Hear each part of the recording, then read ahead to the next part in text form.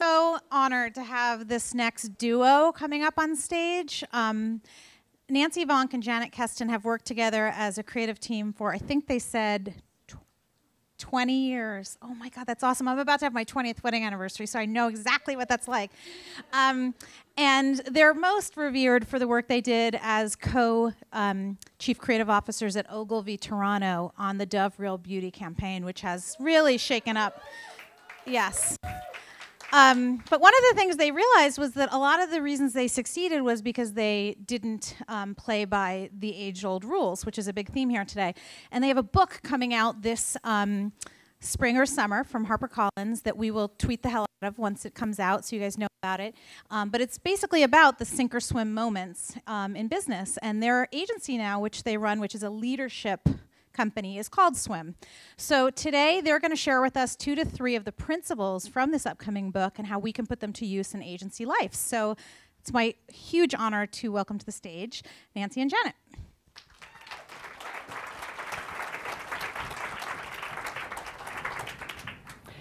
I'm loving that I that photograph's like 15 years old.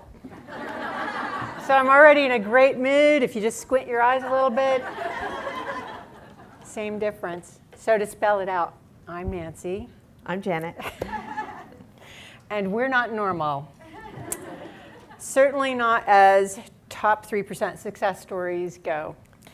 Janet and I were an advertising art director writer team who never wanted to be creative directors. We didn't have a shred of ambition for that position. We're mothers who never wanted to be bosses of any kind except of our kids. All right. True.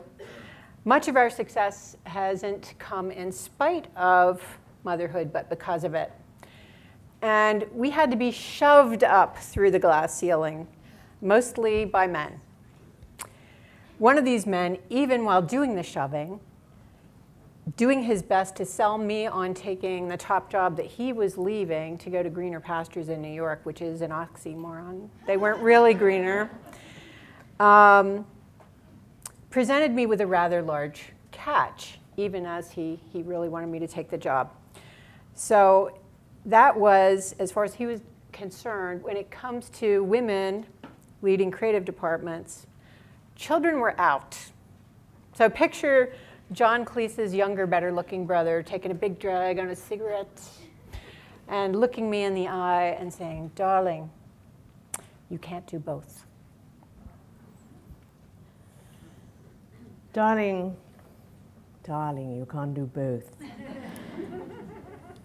uh, that seemed like that was a pretty good book title, uh, which is what our editor at HarperCollins thought after hearing us speak about our, our career path at an event in Toronto called Women of Influence, which is one of those, you know, tell your life story things and hope people think that's awesome. and, um, and she came up to us afterwards and she said, you guys have broken every rule of business success, and that's a book. And we're like, really? Are you kidding me? It took a fair amount of convincing on her part, and our starting point was kind of like, no way. But five years later, the book is almost coming to a shelf or e-shelf near you. And today is actually not so much of a, of a book reading, given that you know there's no book and everything. um, but instead, it's what we call a People magazine on the toilet sized bits uh, about business rules, especially the unspoken ones that women need to break to find greater career success, however you choose to define that. So we're going to really smoothly, not awkwardly at all, go back and forth um, in talking about them. So rule to break, nice girls don't get in your face. So we all know, or I'm going to assume an awful lot of you know, that um, from our earliest days on this planet, that girls are groomed to be pleasers. Um, yes, I'll do it. Sure, I'll do that project that Joe can't do on the weekend, on the holiday weekend.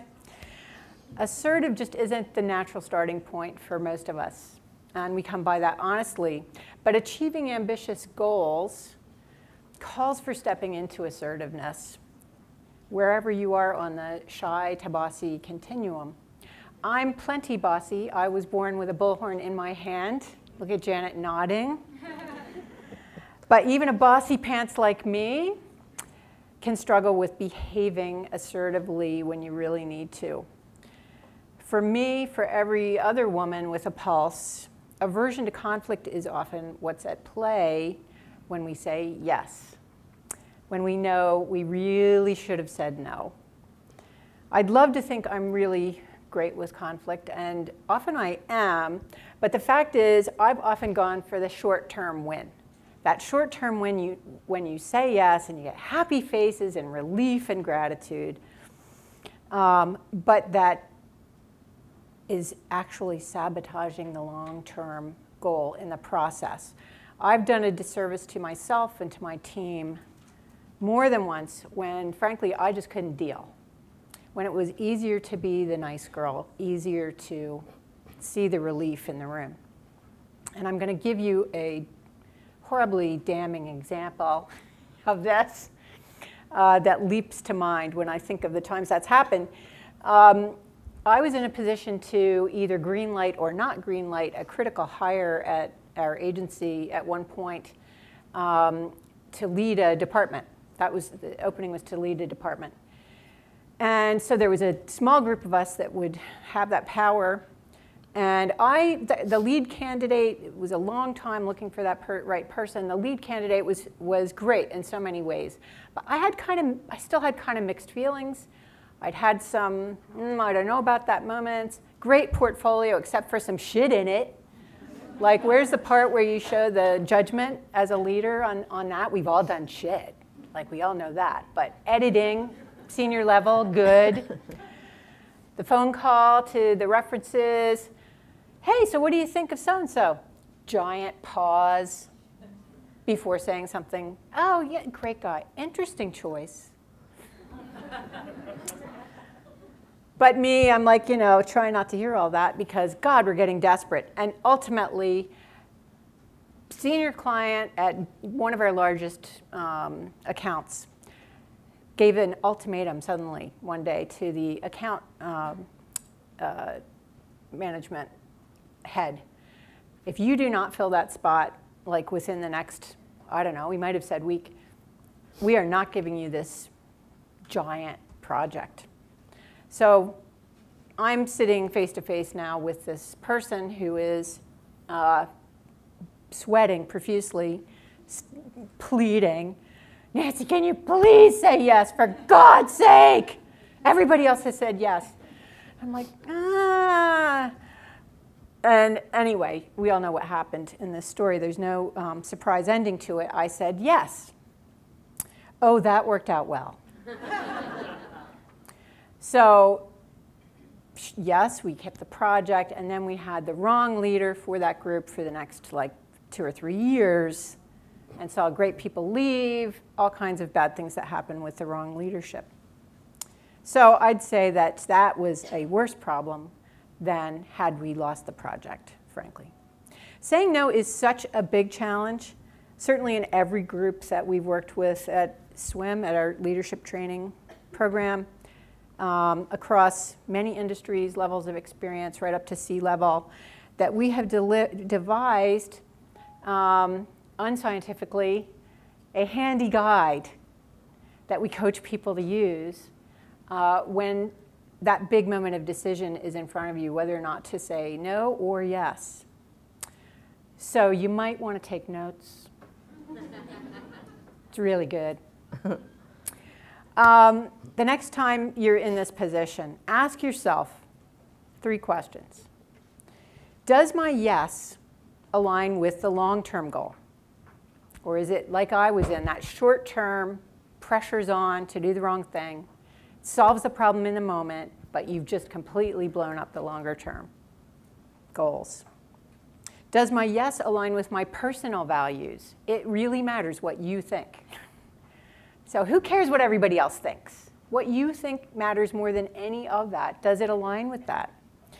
Does my yes align with the data available to me?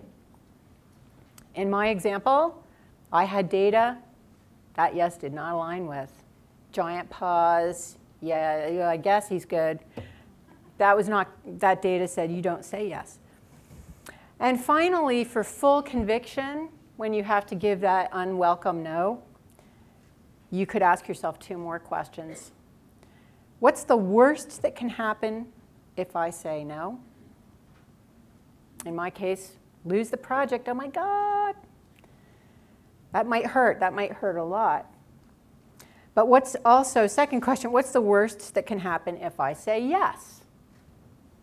Lose the project, put the wrong leader in place, mayhem ensues.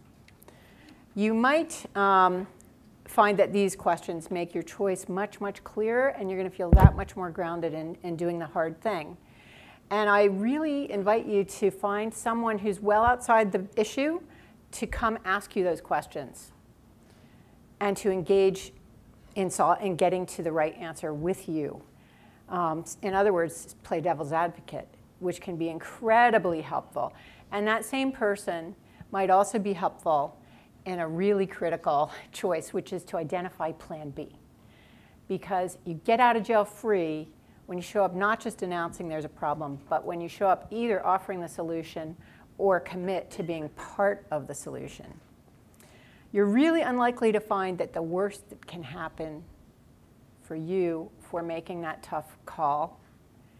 Um, we have seen people walking around worried they're going to be fired over things that are way less dramatic than my fail.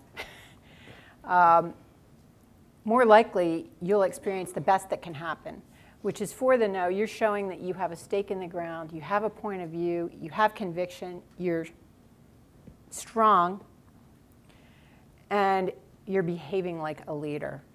And that's the kind of nice zone you want to be in.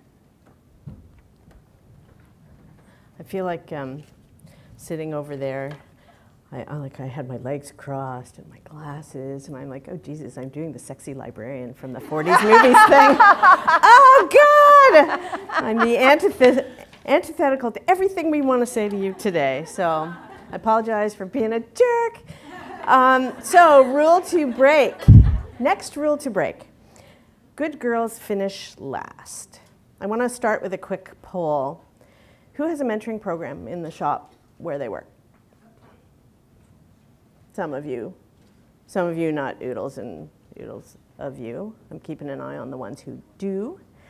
Um, who thinks that mentoring is something that nice people do for other people? No, no, it's not. Nice people don't do that. Uh, what do nice people do? Um, who thinks it's a career building strategy for people who are on their way to the top? Look at you guys. You are unbelievably ahead of the curve, my friends. Because for Nancy and me, mentoring turned into a complete act of enlightened self interest. We've secretly coined TM'd the phrase uh, selfish mentoring, which sounds like an oxymoron, I know, but it's actually a, an authentic career strategy. And I discovered this entirely, entirely by accident quite a long time ago where the um, same boss who said, darling, you can't do both, um, told me that he was going to fire a certain young copywriter, and that young copywriter wasn't me. Um, this young guy had been working in our, our accounting department and he wanted to be a writer so badly. And he did everything you could imagine, you know, everything humanly possible to get this job, including leaping into the creative director's cab when he saw it um, at, a, at a street, stopped at a, at a red light, and begging him for an interview, and then leaping out again into moving traffic. The, I think he was just so like, I can't believe this opportunity, that frankly he nearly died as a result of trying to get the job. So knowing that the guy had laid his, you know, put his life on the line for this job, literally, when um, Mark, our boss, wanted to sack him because he couldn't write, um, did I mention the part about wanted to be a copywriter, couldn't write? No, probably not. Um, he, he was one of those guys who had great headlines and good ideas, but he couldn't write a sentence or a paragraph, a bit of a lack. but even so, I just felt like I couldn't let it happen. And when, when Mark told me he was going to let him go, I found myself saying, I can save him. and um, Mark said to me, and kind of nodded, and then he said um, that I had six months, and if the guy still didn't cut it, then he would be fired, and so would I. I want to tell you that I am not all that self sacrificing. And if I would have had any idea that that would have been said to me, I don't think I would have been quite so quick to, to offer my help. But there I was, stuck. And to save my own neck, I had to figure out how to raise up this guy in a hurry. And I'll say that the outcome of that story is he actually became a creative director in his own right, and, and he was truly very talented, and, and he did really well. But the next thing we knew, Nancy and I were running the Ogilvy internship program and writing an online advice column for young ad people, and we wrote an Adweek book to help young people break into advertising. So we put a freakish amount of time and energy into growing talent, and that led straight to us being named co-chief creative officers of our, of our company. We never had very much money um, at Ogilvy Toronto. I'm sure some of you in smaller shops can relate. We were a smallish office in a smallish market. Canada, big country, no people. we just, so we just treated our interns like we treated everybody else. We paid them and we expected them to deliver. Not just to make decks or make other people's work look pretty. Their ideas counted for just as much as everybody else's and they had all the same opportunities people turned down real jobs to be part of our internship program. Some of our summer interns won Cannes Lions and Grand Clios. Their names were attached to big brands like Dove and Maxwell House and Jaguar and Shreddies. Um, I don't know if any of you guys are familiar with the Diamond Shreddies campaign. I see nodding, that's good. Nodding and laughing. The intern who did Diamond Shreddies actually wound up on the cover of Maclean's, which is Canada's Time magazine equivalent. I admit it was a slow news week. Um, the headline was the intern who saved Shreddies, and he got three pages. Um, we don't, you know, not a lot happens in Canada. we, we're peaceful and quiet. We, we started, Nancy and I started mentoring early in our, in our careers because we felt like it we didn't know how to do it. There was no guide. There were no schools. You're your own school when you decide to do something like that. But here's some of what we learned from working with them that changed our careers and might have a bit of an impact on yours. My way is one way, not the only way. I think um, it is, creative directors, you know, we're control freaks. We want things a certain way. We, we keep our hands pretty tightly on the wheel. And um, we were guilty a lot of being too closed. And we really had to learn to, you know, let go. We had to learn to let go so that they could learn. People can't learn if they can't make their own mistakes. So our job in that case was just to lead them back out of the doo-doo if they stepped in it and help them understand how they got there so they wouldn't make that mistake a second time. It wasn't always to be perfect, right? You're, as, a, as a boss, your job isn't always to get the best thing only, or isn't only to get the best thing out the door. You're always going for that. But your job is to teach people and raise people. Um, we also learned to negotiate world peace. When, uh, when juniors had better ideas than the seniors, we had to say to our senior people, sorry guys, put down your tools and help bring someone else's idea to life. This is not an easy tightrope to walk. And people get kind of mad at you for a while. But um, those people also become better future leaders because they start to learn some stuff. Start thinking early about we instead of me. Uh, we work in a business where we really focus on, on the me because that's how we're rewarded. But leadership is about, is about we. People say, why invest? They'll just leave. In fact, people stayed with us so long that sometimes we actually had to kick them out. Um, so we're, we're all in a business that kicks people upstairs because they're good at their craft, not because they know how to lead others. And building a career on the backs of juniors may seem kind of self serving. I admit it could be. But it isn't if it's actually what you're interested in. Right? It's not, it's not the right path for everybody. Not everybody should feel like they ought to do it or have to do it. There's no arm twisting here. But you learn amazing leadership skills when you decide you're going to develop other people. And it's what set us apart from other people when agencies were looking for people to fill the top leadership jobs. Um, and it's not just us. I, I, coach a woman right now in a large agency where it's pretty hard to get seen. It's pretty hard to be differentiated from the pack.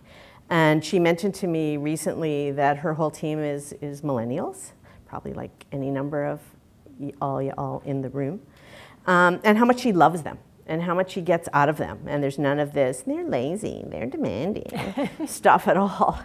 And we never found that. That was the age group that we loved the most. And, um, and the, her agency is recognizing that, and it set her on a different path in their eyes. So um, it's easy to look as, at mentoring as a brownie badge. Tying shoes, check. Pitching a tent, check. Mentoring, check. It's actually a secret weapon there's a book called Why Good Girls Don't Get Ahead. If good means docile and agreeable and demure, I can see why they don't. But if it means do the right thing in the right way, and you'll be amazed how it pays you back, I say be as good as you want to be. We did have a millennial slacker. we probably we had a few. I was saying, remember Carol? You said a name. Like they know, oh like they God. know. Anybody you know named Kara, it's not her. Rule to break get out the golf clubs. Networking, ooh. Here we are at a big old networking event. Yes! it's excellent. Show of hands now and be honest. Who here puts a lot of energy and strategy into networking? It's in your calendar with the same immovable and importance uh, qualities as like a major client presentation. I see one person raising their hand. Good, I'm so glad it didn't go the other way. This wouldn't have gone very well. And I would have said not that long ago, yeah, who has time for it, right? I have about 50 better things to do, like finish up that article, do the grocery shopping, wash my hair. It didn't take much for me to talk myself out of going to these kinds of events and being in those situations. For me, for much of my ad career, I saw networking as an antiquated practice that happened on golf courses, with mostly men and a few women that acted like men. Time schmoozing, time poorly spent. I had real work to do, thank you very much. And if getting to high places meant I had to do that kind of networking thing, then I thought maybe high places are not for me. I counted on my hard work speaking for itself. Dumbass men's golf games and drinks at the club, be damned. For a very long time, I was nowhere near thinking of networking as critical to career development. The funny thing was, though, that even I was think, as I was thinking these things, I was networking and I didn't know it. I was very, very fortunate to be invited to start judging at awards shows. Um, I didn't think of, and I didn't think of what was happening there as networking. I just thought of it as getting to know people really connected people. Um, from the Richmond show, which was kind of my first real one, to, uh, to shows like Cannes, I was meeting people of influence who helped me in so many ways.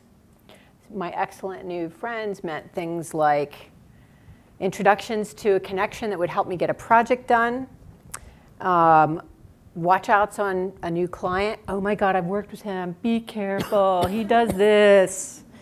Um, or, you know, I was one quick email away from being saved from making a big mistake. So those shows were as surely as a hotbed of networking as the 18th hole ever was. They kicked off a new way of seeing interaction with my peers and people far above me. So I got new perspective on how really critically important it was um, to meet people in positions of influence with lessons and help to share. And so the shows were part of the launch of, of, this new way of thinking and, and, and a more enjoyable journey for that matter, going through this business with more friends around me. Um, I'm, by the way, not suggesting here that here's my advice be on a jury. I do recommend that if you have any opportunity to do it, absolutely accept it and think of it as not just a really fun boondoggle, but something that's really, really good for your career development. And I happen to think myself that the ADC and uh, with friends like Cindy Gallop championing the 50-50 initiative is a really, really great idea that's going to mean many more women can have that career making opportunity and inject really critically, badly needed female perspective into that judging experience. I have judged every show on earth. I've been the token female on every show on earth. Ask me what happened. Um, the things I can't say when I'm mic'd. I took the practices of um, those interactions on those juries into my everyday career experience. And now I was contacting creative directors I used to think of as adversaries um, out of, wow, you know what, I bet that would be really interesting. And sharing wisdom, asking them for theirs, asking for advice. The people that I thought of as armor up let their armor down. It was really fun. I have many good relationships that are born of networking that only happen in email that are just very brief exchanges. My preconceived notions about networking being too time consuming were just plain wrong. So if I was networking kind of happily by accident and organically doing the right thing, what I want to suggest to you guys is that you actually do it with purpose and with regularity. You just have too much to gain to leave it to happenstance like I did.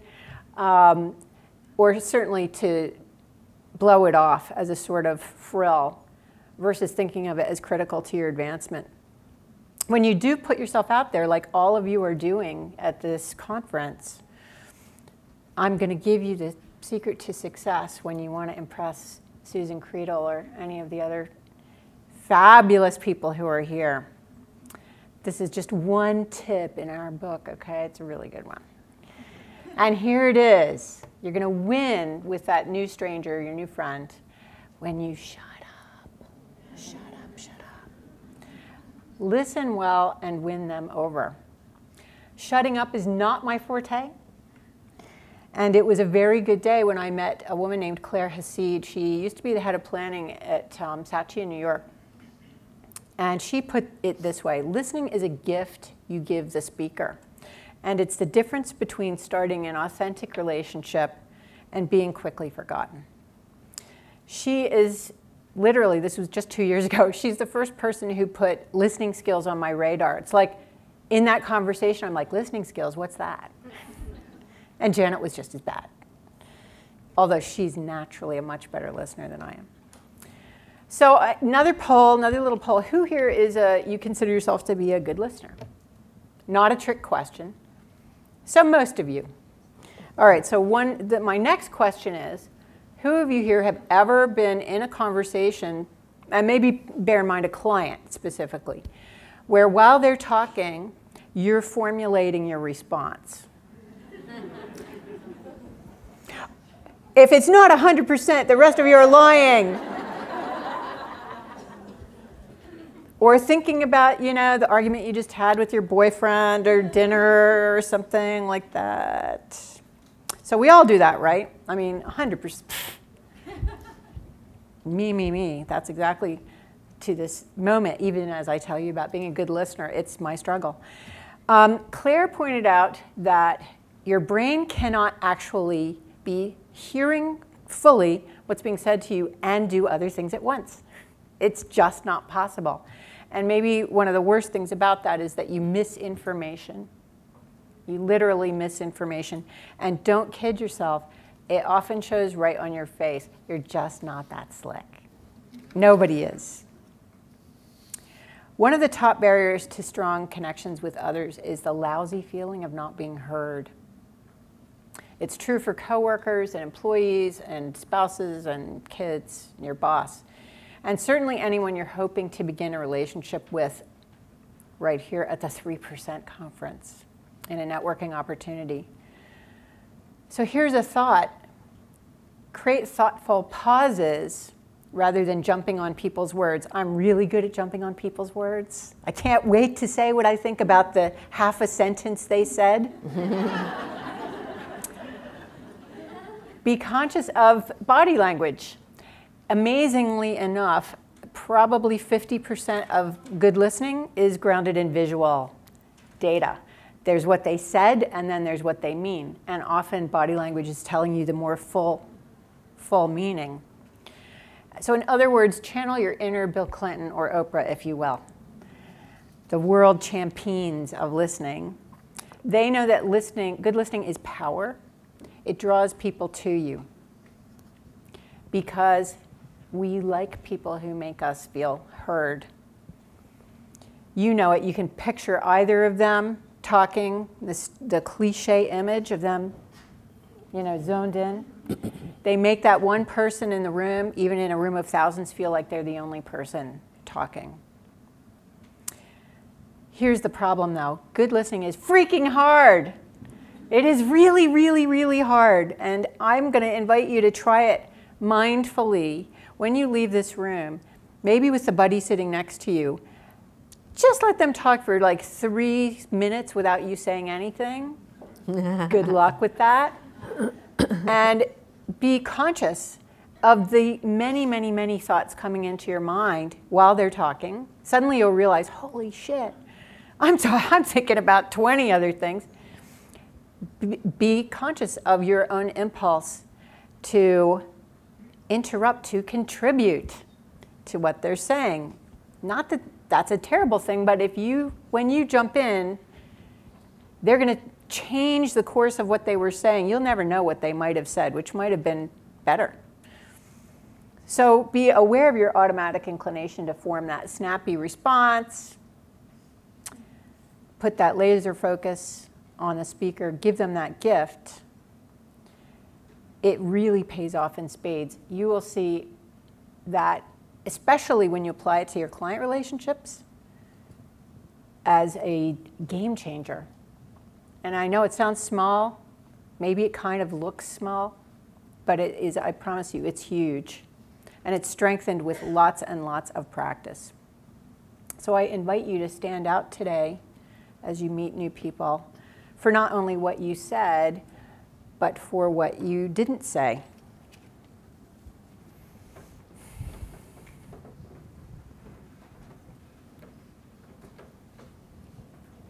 Hello again. Uh, rule to break gender is not an issue. I'm going to um, end our contribution to today um, with what's actually the first chapter of, of our book, um, which is that gender is not an issue and we all need to kind of get over it and move on. It's interesting to be at an event about the you know the circumstances that we all find ourselves in in our business at this moment in time with so very few women in in top jobs um, this is really an event that is about the female brain drain it's about trying to get more women into positions of, of influence it's about trying to stop the mass exodus of women from our business, which is real. Lots and lots and lots of women come in, lots of women come in. The schools are graduating, you know, boys and girls at, at exactly the same rate. And lots of young women get hired into the business, and then 10 years later, it's like a magic trick. Boom, where did they all go? And it's not, um, I don't think it's just because, oh, they had kids and they decided to stay home. I don't think that's what it is. Um, so I'm not going to tell you a story. Uh, I'm just going to make a few observations. Um, and part of it is based even on conversations that we've heard since we arrived this morning, you know, in hallways and, and, and things like that. Um, if women haven't had the experience personally of, of coming up against a barrier that actually did have a, some kind of a gender sort of lens put onto it, uh, it's, it's hard to, to see it as real. I think that if we haven't, I mean, it's like anything in life, you know, it's like having a baby or being a creative director or whatever, and until it happens to you, you don't kind of get it on a visceral level. And um, Nancy was one of those lucky people who, until well into her career, really truly just never came up against it ever. And, um, and her view of it was if I can do it, anybody can. If you've got a problem, it's not because of your gender. Uh, I'll, if there's, you know, there's the kind of I'll earn my own way on my own merit. Thank you very much. um, and, you know, for me, um, early on in my career, a creative director, I wanted to work on beer. Who would want to work on beer now? But I wanted to work on beer. It was like the total marquee account of the time. And, and I was a kid, and, and I wanted to work on the fancy, you know, high profile stuff, just like everybody else did. And I was told, you can no more understand beer than I can understand tampons. Gasp! Who would say that? In Canada, you would be arrested for saying that. Like, like you're literally not allowed to say something like that. But I mean, it's so shocking. And I mean, it's not a thousand years ago that this, that this happened. Um, a number of years later, so to me, like it was, it was pretty obvious from the beginning that, that, you know, girls were allowed to do this and boys could do anything. And, and that surprised me because I wasn't raised with that with that view. I didn't come from a family that subscribed to that. I came from a family of mostly like of all girls. So girls could do anything. And then I came into business and all of a sudden it's like, Arr! so um, a number of years later, I was researching an article just to kind of see what had changed in, in our business. And I wound up calling all kinds of, of creative directors around, um, you know, and they were all, at that time anyway, all the creative directors were men. And, and so I called around just to get people's points of view on things. And of course, I heard the classic, well, I can't find any good women, which, you know, I still hear it now way too often. Um, I was told that, this just kills me actually, that most of the great artists and writers in history had been male. and so maybe we had something to learn from that as an industry. I don't know what. Um, we had we had a very very senior female executive in our business. This is not very long ago at all. Uh, admit to us behind closed doors that she had been treated outrageously by her male superiors when she was coming up. But um, in the press, she said that gender doesn't matter. Gender's not an issue. So we don't, you know, it's hard to admit, honestly. Um, we know women who won't hire women because they're of childbearing age or they have kids already. They decide, just like some men would, that kids mean less commitment on the part of women. It's incredibly ironic that kids mean more commitment on the part of men. Business looks at men with kids and say they're stable and they're solid and they're not going to run off with some hussy and leave us in the lurch you know, women, it's like, oh my God, they're going to go to the doctor appointment, they're going to go to the school meeting, they're not committed, which, of course, I, we did not find to be true at all. We, um, we as an industry, I think we still think I won't hire women who have children is a big factor, and it's a very real problem, and it robs our industry of a lot of the best talent. I'm going to say for myself, I got better at my job after I had a baby. I used my time differently. I was more effective. I was, on some level, a little more balanced as to brain and heart. Maybe I was a little more brain and a little, like I stopped thinking of my job as my kid, so which made me a little less, you know, attached. And, and that, that, you know, the stepping back, the opportunity to see the big picture a little bit better, made me, made me far better. And Nancy would say the same. And we observed it to be true of the women that we hired who then had kids at various points after they came to work for us. They became better time managers, they understood the world in a different and deeper way, and they brought a kind of a humanity to the work that you just don't see all the time. So um, we absolutely believe gender is an issue, but it's not just a women's issue. I'm glad to see that there are men in the audience. I wish there were more. It's a human issue and we need to recognize it in order to move past it. We need things to change, so we don't need conferences like this or books like ours. I'm working hard to put Nancy and me and Kat out of business here. Um, if you think things are changing, you're probably right. If you think they're changing quickly, you're kidding yourself. Women still hold only 4% of the world's top jobs, 3% in advertising and we account for only 5.2% of the world's top earners. Overall, advertising is um, a highly paid industry. Some of us make pots of money. Can't say that I am one of those people.